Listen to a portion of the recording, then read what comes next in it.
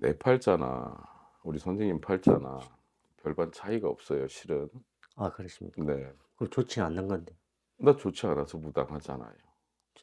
본인은 좋지 않아서 54년 평생이 힘들고요. 그렇죠? 음, 집안 내력부터요. 집안 내력부터 부모님이나 뭐 위에 분들 욕하는 게 아닙니다. 복잡하십니다. 나는 우리 선생님이 어머님 아버님이 얼굴이나 제대로 아는가 한편은 그게 또 궁금할 정도로 굉장히 복잡하십니다. 그러니까 선대 할아버지 할머니 때부터 할아버지가 뭐 할머니를 또 들이셔놓고 음, 부모님도 어떻게 보면 일찍 또 작고하시거나 떠나시거나 이런 식으로 좀 풍파가 굉장히 많아 보이거든요. 생일은 언제입니까? 2월이 2월입니다. 그럼 지금도 혼자 있어야 되고요. 혼자 살아야 될 팔자가 많고요. 2월 며칠입니까? 19일입니다. 궁금한 게 뭐예요? 네? 궁금하신 게 뭐예요? 어, 아, 그, 좀, 취직 문제 같은 거나, 조금 일자리가 있었으면 좋겠는데, 일자리도 없고, 그 요새 가- 간질수가 조금 있고, 그렇죠. 요새 쉬운 말로 그 관제도 사람이 평소에는 유합니다, 본인이. 근데 술이라는 게 이렇게 들어가게 되면은 많이 과격해지는 건 본인이 아시죠? 술은 좀 살아가시면서 좀 금기하실 필요가 있고요. 관제는 아마 채무 같은 거, 돈 그런 쪽에도 아마 관제가 있을 겁니다. 그러니까 내가 빚 얻어서 못 쓰고 못 갚고 이자도 못 내면은 그것도 관제입니다. 그런 게 아마 있으실 거고. 그리고 우리 선생님이 뭐랄까 특별한 기술이 안 보여요. 원래 뭐를 하셨습니까? 아, 일용직, 그쵸? 그러니까 건설 현장도 요새 건설 경기가 너무 없으니까 마땅히 일하실 데가 없으실 텐데 정월까지는 오늘이 음력으로 2월하고도 4일이에요, 음력으로. 네, 또 더군다나 우리 선생님이 생일달이잖아요. 네, 19일인가 그러셨잖아. 쉰 김에 며칠 쉬고요. 그러니까 한 열흘 정도 쉬세요. 열흘 정도 쉴 수밖에 없을 겁니다. 그러니까 생일 본인 생일 지나고 나서나 일이 보여지니까 좀 찾아보세요. 네. 그러면 일이 들어올 겁니다.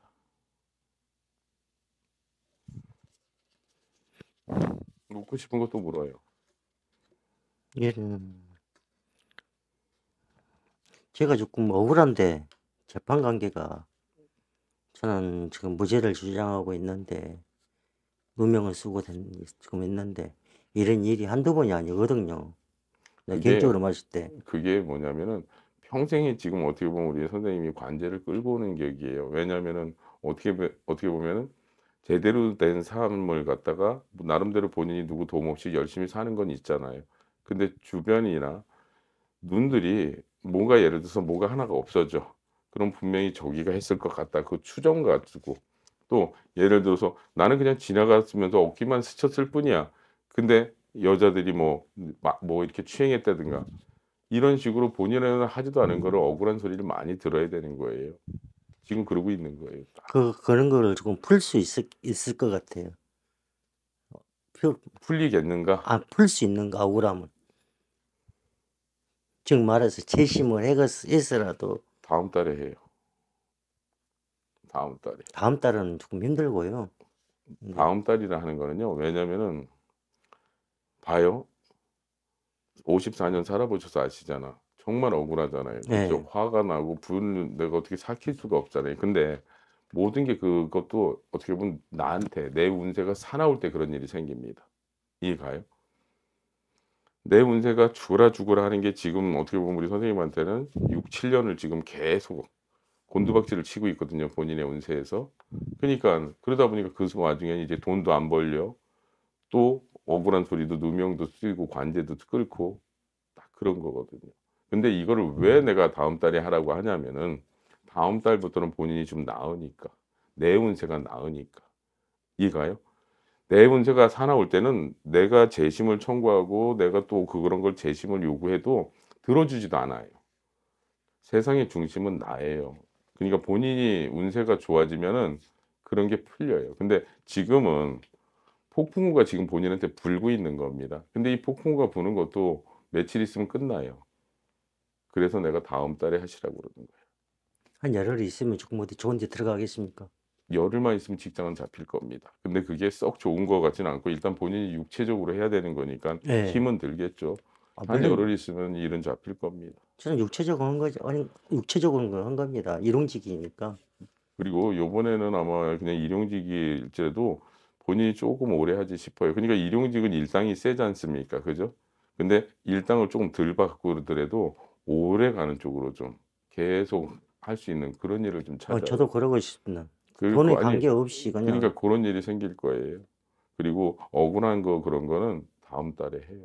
며칠 몇 그냥 근데 지금 그러니까 다음 달이라 하면 오늘이 2월 음력으로 4일이에요. 한 20일 그러니까 3월 달에 하시라는 얘기예요. 음력 3월 달에. 그래야 본인이 억울하지 않고 본인이 원하는 답을 그때 가서 얻을 수 있어요. 그러니까 내 운세가 죽어라 죽어라 하는 거예요, 지금. 그래서 그런 일이 생긴 거니까 요것도 조금 변화되는 게 음력 3월부터는 변화되니까 억울하더라도 좀 참아요. 지금은 뭐 할 수 있는 게 없어요. 지금 뭐 이렇게 더 억울한다고 해서 해봤자 나한테 손해만 나고 더 안 좋을 거니까. 저는 이런 게 있어요. 남한테 베푸면은 덕이 들어와서 부- 좋겠지만은 그게 내가 해가 해가 내, 가 서두에 얘기한 거를 본인이 까먹은 거예요. 나나 우리 선생님이나 진배 없다고요. 나도 지금 이- 같은 나이지만 결혼도 못하고 나도 지금 신을 섬기고 이렇게 가고 있어요. 이 무당이 쉬운 건 아닙니다. 본인도 육체적으로 고생을 하겠지만 우리도 이렇게 상담하고 또 굿도 하고 또 한밤중에 오밤중에 산에 올라가서 눈이 오나 비가 오나 우리도 그렇게 기도를 하고 남들을 위해서 빌고 살거든요. 그러니까 나나 본인이나 똑같아요. 근데 이 이유는 나는 그래서 이쪽 길로 와서 존중하고 나는 무당이 됐잖아요. 그럼 본인도 어떻게 보면은 최초의 스님이 되든가 무당은 아니에요.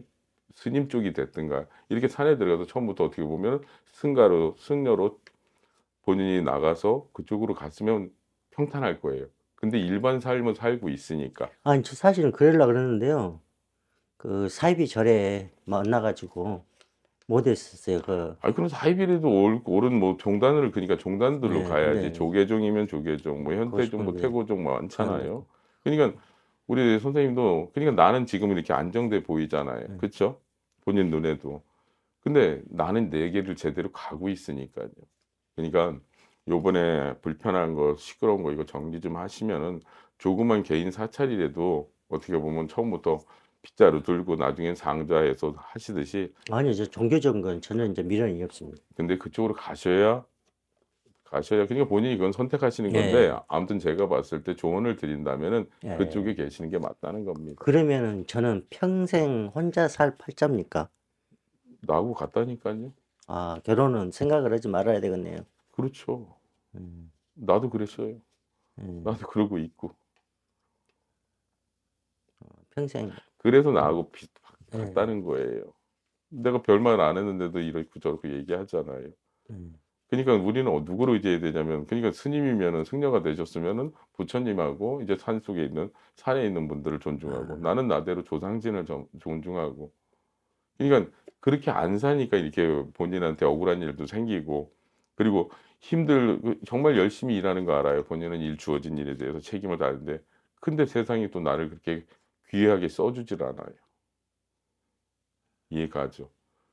인복 제복이 다 없단 말이에요. 그럼 어디 가야 되겠어요? 사람들 세계에 있으면은 상처만 받아요. 알잖아요. 네, 몇푼 안 되는 거 갖고도 찢어 발겨서 주는데도 나중에는 본인한테 욕이 음. 돌아오고 그잖아요. 좋은 건 하나도 없잖아요. 종교적인 걸 접었다고는 하시는데 꼭 종교가 아니라 그냥 비슷한 쪽으로 가셔요. 그게 편안하십니다. 하루를 살아도 우리가 마음 편하게 살아야 되잖아요. 그렇죠? 그게 좀 필요합니다. 그리고 힘들고 답답한 건 아는데요. 이런 데 올 때는 약주 드시고 오시면 안 되는 거예요. 예? 약주 드시고 오시면 안 되는 거예요. 저 술 안 먹었어요. 근데 냄새가 너무 나. 아니 저거 향수 냄새나? 향수. 아니요, 저 술 안 먹었어요, 진짜요. 아무튼 그런 나는 알코올 냄새가 나서 여쭤본 거예요. 아니요, 아니요, 술 안 먹었어요. 지금 아무튼 며칠 안 먹었습니다, 지금. 한번 드시면 많이 드시죠. 조금 먹지요. 근데 예, 그게 왜 술을 뭐 끊으려 그래요. 그러니까 본인이 내가 아까도 얘기했잖아요. 약주 하시게 되면은 이 화가 참을 수가 없는 게 올라와요. 그러니까 드시더라도 적당히. 아니, 선생님 진짜 죄송한데요. 이거 모함이에요. 저 진짜 아니 모함이 아니라 엄치 많이 드셨는지 며칠 안 드셨다는데도 내가 느껴질 정도니까 그 전에 그러니까 며칠 전에 엄치 많이 드셨나 보지. 며칠 전에요? 며칠 전에. 술은 먹은 적은 있어. 근데는 아니 한, 근데 한그 일주일 됐을 건데요. 그, 인이 인이 배겨 있으시니 그런지 냄새가 나서 내가 말씀드린 예. 거예요. 저는 안 드셨으면 됐어요. 예, 오늘은 술 안 먹고 왔어요. 내가 진짜 실령님 모시고 계시지만은 저는 그렇게 그 뭐냐면은 경험 없는 짓거는 안 합니다. 음, 성격이. 내가 잘못 봤어요. 그래. 예, 저는 술 안 먹고 왔습니다. 근데 고향이 어디예요? 나 전라도입니다. 어디? 보성입니다. 난 여수요. 여수예요. 보통 그쪽도 많이 다녔어요. 네? 오봉산, 오봉산 오보성 예. 네, 그쪽도 많이 갔죠. 기도 다니고 아, 그쪽 오셨습니까? 칼바위 쪽에도 많이 가고요. 오봉산. 오봉산 그 유명하죠. 그 강골인가? 음, 강골이죠. 그렇죠. 예. 아유, 아무튼 근데 선생님이 저 형제간이 있는데 네, 사실은 형제간이 조금 잘 산 사람이 하나 있어요. 네, 덕 좀 있겠습니까? 나 돈 좀 조금 해달라 근데 안 해주거든요. 저 미안한데요. 예. 기대 안 하시는 게 낫습니다. 말도 꺼내지 마세요. 힘든 건 알겠는데요. 괜히 형제들한테 모진 소리 들으면 본인이 더 힘듭니다. 안 하시는 게 나을 것 같습니다. 아마 이, 이 얘기는 아마 우리 선생님도 짐작하는 부분일 겁니다.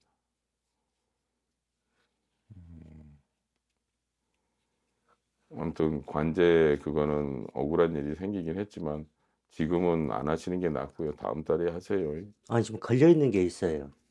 걸려 있는 게 저는 지금 당장 지금 걸려 있는 게 있는데 결과가 어떻게 나올지는 모르겠는데 근데 우리 지 선생님은 정말 형제들이 어떻게 보면 죄송하지만 남보다도 더 못합니다. 네 맞아요. 근데 나보다- 거기에다 대고 뭘 얘기를 하세요? 음. 본인이 죽는다 해도 안 도와주실 분들이에요. 그건 더 잘 알잖아요, 본인이. 아 그렇게 덕이 없구나. 오죽하면 내가 산에 들으라 산에 들어가라고 하고서 네 그것도 맞는 말. 전 세상에 저는 혼자라고 생각을 합니다. 당시 살면서 나는 나 혼자다 생각하고 있습니다. 그러니까 우리가 있잖아요. 음. 나 혼자 먹고 사는 것도 그게 녹록치가 않아요. 처자식이 있어서 거기를 부양해야 되는 것도 아니고 나 혼자 먹고 사는데도 이렇게 항상 힘들잖아요. 그렇죠? 왜 그럴까요? 간단한 겁니다. 지금 옷 입고 있잖아요. 내 옷도 내 몸에 맞아야 내가 행동도 편한 거고요. 근데 어떻게 보면 직업적으로 그러니까 왜 스님들이 스님하겠습니까? 스님들도 머리 길고 우리처럼 일반적으로 먹고 술도 먹고 데이트도 하고 싶고 할 거 아니에요. 그네들도 사람인데. 근데 그네들이 그거 그게 맞는 거고 나는 또 나는 이게 맞는 거고. 그냥 우리 우리 선생님은 맞는 거를 아직 못 찾고 계셔서 힘드신 거라고. 마음이라도 편해야 될 거 아닙니까? 그렇죠? 맨날 전화 오는 거, 뭐 독촉 전화, 뭐 이런 거 받으면 뜨끔뜨끔 또 뭐 관공서에서 전화 받아도 또 뜨끔뜨끔 하루하루가 편치가 않다고요. 그러니까 내가 말씀드리고 싶은 거는 뭐 이 지금 뭐야 관제 같은 거는 다음 달에 하시지만 원래대의 근본을 간다면은 나처럼 스님처럼 그쪽으로 가셔야지 됩니다. 늦었다 생각하지 마시고 그쪽 비슷한 쪽으로라도 가세요.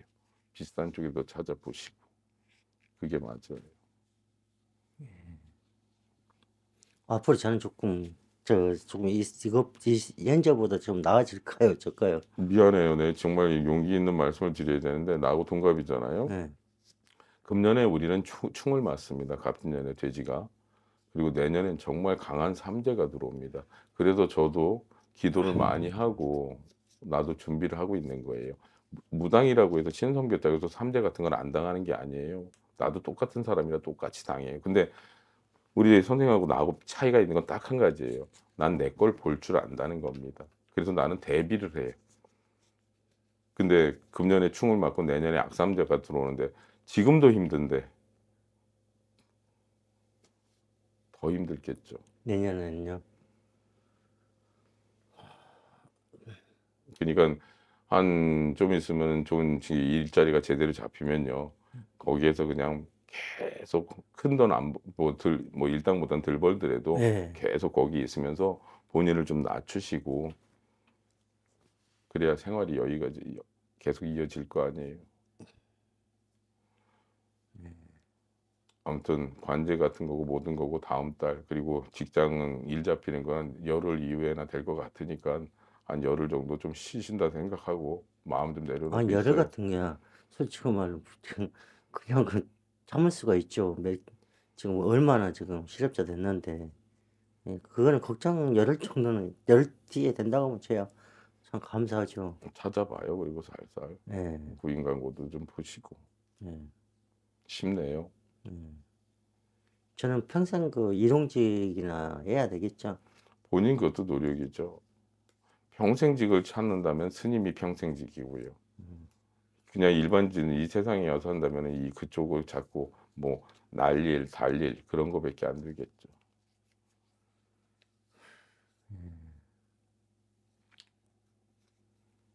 술도 돈이 쓰여 먹어요. 조금씩 드시고 그래요.